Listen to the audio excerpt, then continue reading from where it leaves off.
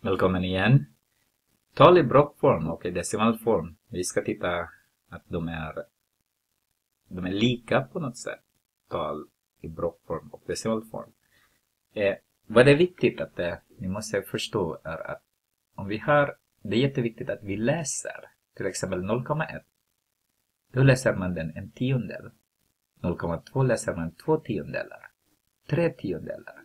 Fyra tiondelar. Fem tiondelar. Eh, sex tiondelar. Sju tiondelar. Åtta tiondelar. Nio tiondelar. Och tiondelar är tio tiondelar. Det blir ett då. Eh, varför vill jag att ni ska läsa på det sättet? Därför att om vi har... Jag glömde min penna igen. Om vi har en tiondel. Så, vad har ni lärt innan i kapitel 1? Att om man har decim decimal där, decimaltecken där, ett där så. Om man dividerar med 10 så flyttar man kommatecken till vänster. Därför 0,1. Eller vill man göra eh, på dividera den så har vi 1 dividerat med 10 är 0. Och sen har vi, kan man 0 där nu, så har vi 10 dividerat med 10. Så kommer det ettan där. Mina elever kommer från Afghanistan så har de 1 dividerat med 10. Och 1 dividerat med 10, det går inte. Så det är 0. Så det är 0 där. Så tar man den. Så har man 1 där igen. Och sen sätter man en nolla, kan man 0 där. Så blir det 10. Så 10 dividerat med 10. Ja, precis. noll först. Sorry, jag har inte skrivit i svaret. Det här är från Afghanistan då. Eh, 10. Så blir det 1. Så det beror på hur ni gör. Okej. Okay. Två tiondelar betyder två tiondelar. Betyder att vi ska förkorta den med tio, med två, förlåt. Så har vi en femtedel. Och två tiondelar. Alltså här är kommatecken, tittar vi där, så har vi 0,2. Så en femtedel är 0,2. En fjärdedel då? Lite kommatecken. En fjärdedel då? Och det är lite kanske svårare att göra den till tiondel. Men det är bra att vi gör den med 25.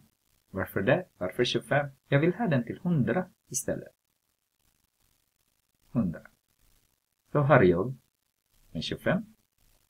Så har jag 25 hundradelar. Det är 0,25. Därför här är kommatecken just nu 1, 2 när det är 100. 100, 100 dividerar med 100. Men om ni vill dividera det som vanligt, så 1 dividerar med 4. Det går inte. Så sätter vi 10 där. Så har vi 2. Och sen 2 där igen. Sätter vi en till nolla. Så har vi 20 nu. Det är 0,25.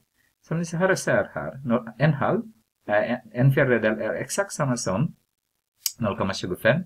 Det är bra att kunna den utan till. En femtedel är 0,20, en tiondel är 0,1. Och sen ska vi titta på en halv. Om jag multiplicerar det med 5, med 5, förlänger den med 5, så har jag 5 tiondelar. Och det är exakt samma sak som 0,5. En hundradel står där. blir 0,01. Ett tusendel blir 0,001 genom att använda vad ni har lärt med division med 100, med 10, 100 och 1000. Tre fjärdedelar då? Ja, som vi har gjort med, eh, med 4. Vi kan med en fjärdedel, så vi kan väl göra så här. Det går inte. Så har vi 30 nu. Så har vi 7. Och det är 2. Så har vi 0,75 som det står här. Eh, där. Här är mellan 0,7 och 0,8. Det är 0,75. Så det är jättebra att kunna de åttan till. En, en tredjedel är ungefär 0,333. Den kommer aldrig att sluta. Och två tredjedelar är 0,66666 egentligen, men man kan, ja, ungefär 0,67. Dessa behöver ni när ni löser, när ni omvandlar mellan tal, tal i blockform och i decimalform. Eh, och vad ska vi till exempel nu? Ska vi titta på någon exempel? Till exempel 0,21. Vad blir det där? I blockform. Det är 21 hundradel. Så är det. Så enkelt är det. Men om det är 0,22 då? Då är det 22 hundradel.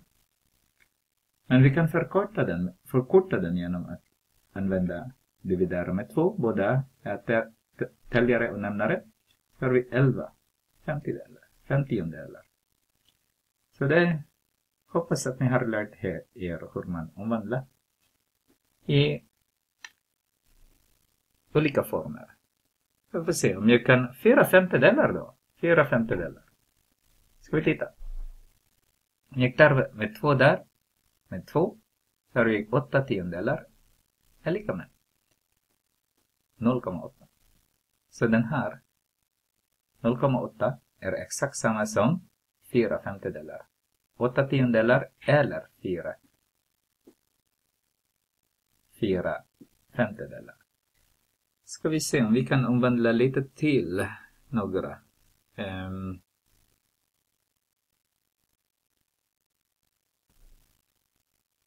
mm. Det finns 17 tiondelar då. Nej, 7 femtedelar. Vi tittar. 7 femtedelar. Vad är det i decimalform? Ser ni att det, täljaren är större än nämnaren? Det betyder att det det är mer än ett. Så kan vi väl ta 7 dividerat med 5 är 1. Kommatecken. Och har vi 2 kvar har vi 4. Så 1,4. Hur vet vi det? Det kan vi göra så här också. 7 femtedelar multiplicerar med 2 multiplicerar med 2. Då har vi 14 tiondelar.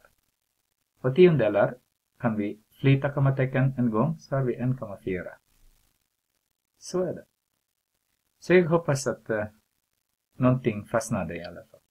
Om du tycker att det är konstigt fortfarande, det är bra att uh, du tittar en gång till. Eller tittar någon annan som eh, finns på Youtube. Vi är så många som, som gör det här nu för er skull.